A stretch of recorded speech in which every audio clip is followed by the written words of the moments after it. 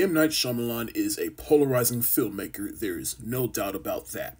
But there are two films within his filmography that I have never seen before, and that's The Village and Lady in the Water.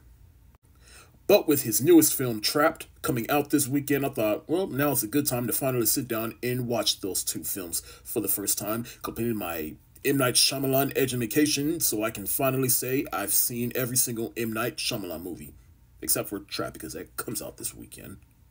But anyways, consider this a double feature movie review, starting with The Village. Let's go. The Village is also celebrating its 20th anniversary because it came out in 2004. It has now been 20 years since it came out to this exact day, to be exact. But this is a star-studded cast in which you have these group of villagers that live isolated from everybody. Oh, spoiler alert, the twist is there's these villagers that got fed up with the world, they got tired and shit happened in their life, and so they just decided to seclude themselves from the world and live in this village where you have these monsters that basically haunt them and keep them in line. And then Bryce Dallas Howard's character, she her her man gets sick, and so she wants to go into the outside world to find his medicine, only to find out, spoiler alert, that they are not living in old times and they're actually living in modern times. And the monsters that are hunting them are actually the villagers all dressed up just to keep them scared. Now, like I said, this is just one of those movies, especially one of those M. Night movies that, for whatever reason, I just never got around to watching until just now. And, but I always heard that the consensus around this movie is mixed for the most part. I mean, before this movie came out, he came out with Signs, Unbreakable, which is my favorite of his filmography, and um, The Sixth Sense and he came out with all three of those bangers and then he came out with this and that was the one that was the turning point for everybody i'm like huh, maybe this M. Night guy is not the next Spielberg, as the magazines were calling him. This was definitely the turning point for this man where his career took a turn for the worse, but it all started with The Village. Granted, The Village is not his worst film, but it's also not his best. And for the twists, I mean, I kinda already knew about it, but it didn't make it any more impactful just watching the twist within the context of the movie, though. It also doesn't help that a lot of people's problem with this movie is that the trailer sold them one thing, but it turned out to be another. They thought it was just going to be some horror movie that took place in the woods, and then it turned out the first half of the movie is just some forced hackney romance, and then one of them gets hurt, and so one of them has to go into the outside world, and that's what that's the movie that was pitched to everybody. But for me personally, I mean, I didn't necessarily dislike the movie, but at the same time, I didn't like it either and the monsters that's wearing the red coats and everything with the little spikes coming out their back. I mean, they really, I really felt nothing seeing them. I really didn't feel like they were much of a threat.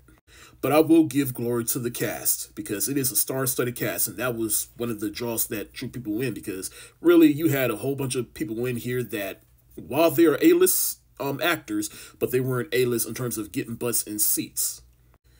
But once you see the cast within this movie, you're like, huh, what's M. Night about to do with them? And turns out he really did almost nothing with them.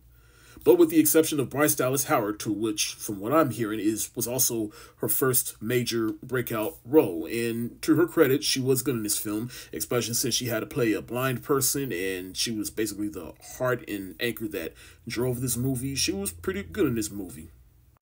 Joaquin Phoenix, I mean, he was okay in the movie, but his character had almost, I mean, he really had nothing to work with with this film, except getting killed by Adrien Brody's character, who is, let's just say, mentally impaired. But I didn't realize Adrien Brody was in this movie, but he's one of those well-respected actors that anytime you see him in a movie, you're like, huh, what's he about to do? And he's pretty good, and this is probably one of my least favorite performances from him. Some other notable cast members within this film are the late William Hurt, Sigourney Weaver, who I also didn't know was in this film. You also got um, Brendan Gleeson in this movie as well, Mad Eye Moody himself. But in the end, this movie definitely confirmed to me that this was the turning point for M. Night Shyamalan's career in which it took a turn for the worse. But luckily, he bounced back from that. But like I said, this is also not his worst. He took some big swings with this movie, especially with the cast. And did it pay off? Well, that's up to you to decide. And did the movie as a whole work for you? Again, that's up to you to decide. But for me, there were things that worked in this movie and things that just didn't really work with this movie, and that's why I'm going to give The Village the thumbs down emoji. Next up is Lady in the Water, which also stars Bryce Dallas Howard, and I honestly didn't realize that either. But this is probably the most head scratcher of all his films now that I've finally seen it. And a lot of people put this with his worst films with The Last Airbender, After Earth, and um, The Happening. And yep, this is definitely one of his worst. Is it his worst overall?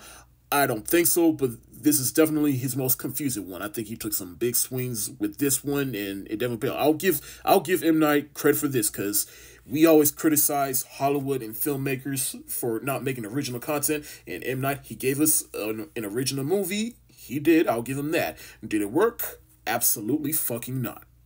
This movie was conceived off of some stories he told his children when they were young, and then he adapted it into a script and he pitched it to Disney, who was a frequent collaborator with M. Night at a point, and he had a meeting with them. He tried to explain the story to a Disney exec, and yeah, they weren't buying it. And so M. Night, he he let his ego get the best of him, stormed out, and so he went to Warner Brothers, and yeah, we all saw the movie. I'm not even to try to explain the plot. It's just confusing and I still don't understand. I'm still trying to process it, but from what I understand, it's like Paul Giamatti's character, he finds Bryce Dallas Howard in a pool and she's talking about some creatures and basically stuff that's manifesting into a story that's written by M. Night Shyamalan's character in the movie. way to uh, talk about ego. But the best way I can describe this movie, it is boring, pretentious, and dumb. There's even a movie critic in this movie in which I think M. Night he was trying to take jabs at film criticism, and yeah, I think that kind of backfired on him. But like I said, Bryce Dallas Howard, this was probably a believe her second film I ever saw in, and then you got Paul Giamatti in this movie, and M Night Shyamalan he has a he has a tendency of casting well respected actors in his movies only for them to turn out to be shit.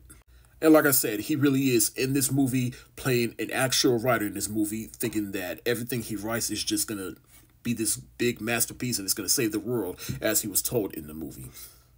Other than Bryce Dallas Howard and Paul Giamatti, you also got, and also M. Night Shyamalan, you also got um Jeffrey Wright in this movie. You got Sarita Choudhury in this movie. Forgive me if I mispronounce her name. Um, you got Freddy Rodriguez, and then you got the late David Ogden Stiers, doing the narration in the beginning of this movie. If The Village was the turning point in M. Night's career, Lady in the Water was the start of his losing streak. And like I said before, I give M. Night credit for making something original, which is definitely needed, but just because you make something original isn't guaranteed that it's going to be good, and that's why I give Lady in the Water the thumbs down emoji. It's not his worst, I'll give him that, but it's also not his best. Like, this, this movie definitely didn't piss me off like After Earth did, but you took a big swing and you miss, M. Night, with this one.